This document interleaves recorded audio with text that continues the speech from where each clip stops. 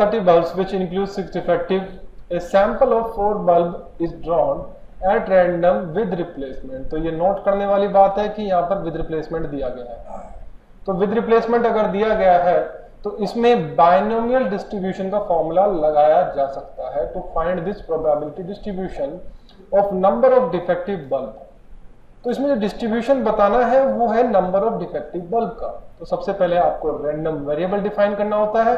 तो random variable में हो सकता है out of these four bulbs आपका एक भी बल्ब डिफेक्टिव नहीं आया, क्योंकि इस समय सिचुएशन क्या है कि आपके जो गुड बल्ब है इसके अंदर, वो है टोटल आपके 24 और आपके डिफेक्टिव बल्ब्स कितने हैं?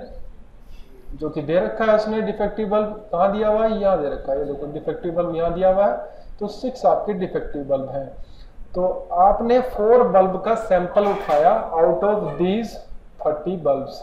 तो फोर बल्ब का सैंपल आपने उठाया तो उसमें दिया गया है कि आपको बनाना है probability distribution for the defective bulb तो हो सकता है कि पहला, दूसरा, तीसरा, चौथा, कोई भी बल्ब डिफेक्टिव नहीं आया, सारे के सारे गुड बल्ब में से आ गए। या हो सकता है उनमें से कोई एक आ गया, या हो सकता है उनमें से दो आ गए, तीन आ गए, या फिर ये भी हो सकता है कि चारों के चारों डिफेक्टिव आ गए। तो अब आपको इसकी प्रोबेबिलिटी डिस्ट्रीब्यूशन बनानी है। तो इसमें हम बाइनोमियल डिस्ट्रीब्यूशन लगा सकते हैं क्योंकि विद रिप्लेसमेंट है। आप बल्ब निकालते हो और उसके बाद उसको वापस रख देते हो। तो डिफेक्टिव बल्ब आने की प्रोबेबिलिटी हम उसको सक्सेस के रूप में डिफाइन करेंगे। तो यहाँ पर हमारी सक्सेस डिफाइन हो जाती है। सक्सेस को बोलते हैं हम पी और ये यहाँ पर डिफाइन किया जा सकता है। आपके टोटल बल्ब्स तो नीचे रहेंगे 30 और आपके डिफेक्टिव बल्ब्स कितने हैं? सिक्स तो वन अपॉन फाइव हो जाएगा सिंप्लीफाई करके। फेलियर अगर आपको पता करना है फेलियर होता है वन माइनस पी तो इसको आप सोल्व कर लीजिए one minus one upon five जो कि हो जाएगा फोर बाय फाइव अब एक एक करके हमारा सबसे पहले हमें बाइनोमियल डिस्ट्रीब्यूशन का फॉर्मूला लिखना है। तो P X equals to R इसका फॉर्मूला होता है N C R P raise to the power R and Q raise to power N minus R अब यहाँ पर आप पहले एक एन को डिफाइन कर लीजिए। एन हमारा देखिए, ये मैक्सिमम कितना है? या फिर कितने? ये जो ड्रॉ किए गए हैं यस ये फोर है। ठीक है?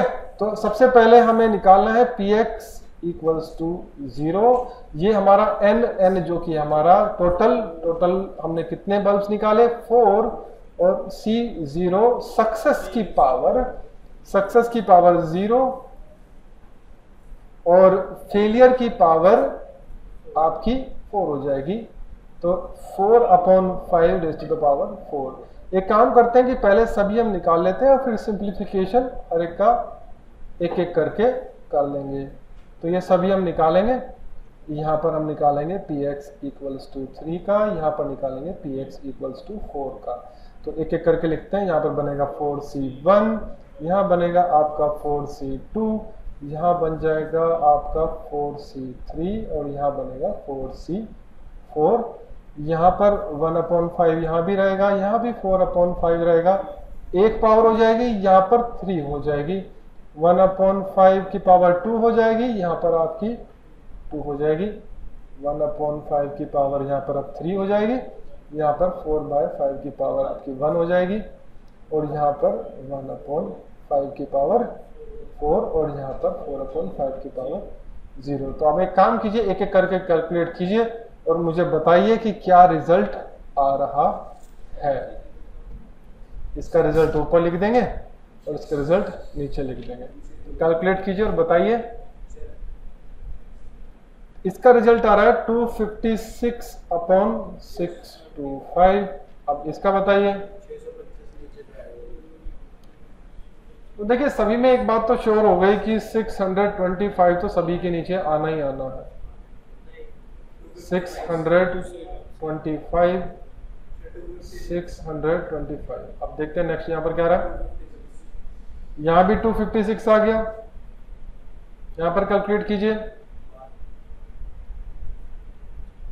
96 ही आएगा और यहाँ पर आपका आ जाएगा 4 4 सी थ्री आपका 4 होता है, यहाँ 16 आ जाएगा। 4 सी 4 आपका वन होता है तो यहाँ पर केवल वन आएगा।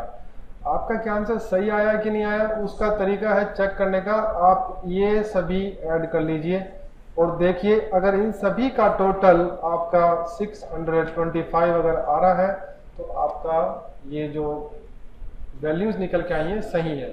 तो एक रफ में आप कहीं चेक कर लेते हैं, हम यहाँ पर चेक कर लेते हैं कि इन सभी का total 256 plus 256 plus 96 plus 16 plus 1 कितना आ रहा है?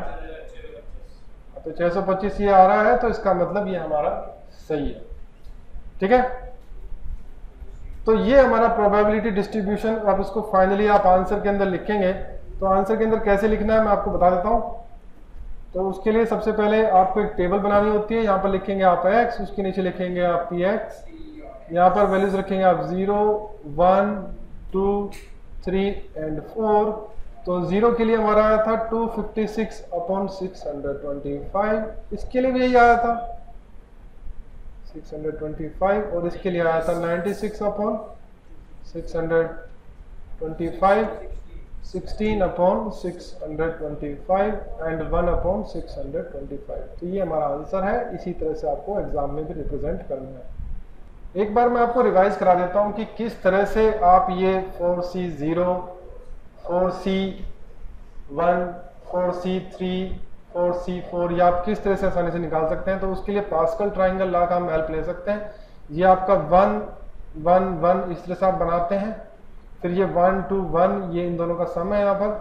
फिर वन इन दोनों का सम यहाँ थ्री इन दोनों का सम यहाँ थ्री वन और इस तरह से इन दोनों का सम ये आपका फोर इन दोनों का सम सिक्स इन दोनों का सम फोर ये, और यहाँ पर फिर इन दोनों का सम फाइव इन दोनों का सम टेन इन दोनों का सम टेन इन दोनों का सम फाइव वन तो ये जो ट्राइंगल है आपका पास्कल ट्राइंगल कहलाता है, इसके अंदर मैं आपको बताता हूँ, सबसे पहले जो नीचे वाले से शुरू कर देते हैं तो ये जो वैल्यू होती है आपकी, ये वैल्यू होती है आपकी फाइव सी ज़ीरो की, ये होती है फाइव सी वन की, ये होती है फाइव सी टू की फाइव सी थ्री की फाइव सी फोर की, ये आपकी फाइव सी फाइव की.